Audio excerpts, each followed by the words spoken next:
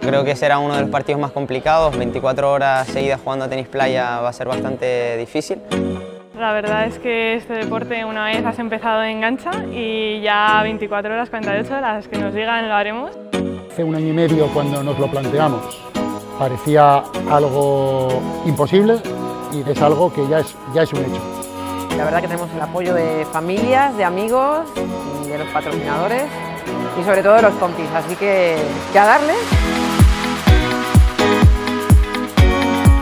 Estar homologado se necesita una hora eh, de juego y cinco minutos de descanso. Yo creo que si no llegan a las 24 poco les faltará.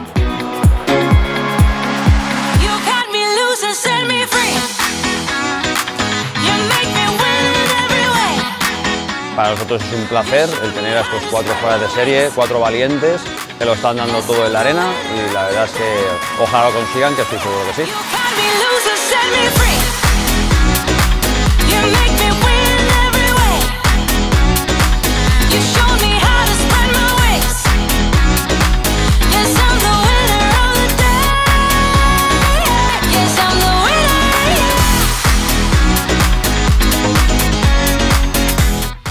Solís se identifica mucho con personas con valores realmente y aportar cosas positivas a, la sociedad. Bueno, la, verdad es que cuando Carlos nos presentó el proyecto de Record Guinness al partido más largo de la historia, nos pareció una absoluta locura, pero es el tipo de proyectos que a NOC nos encanta apoyar.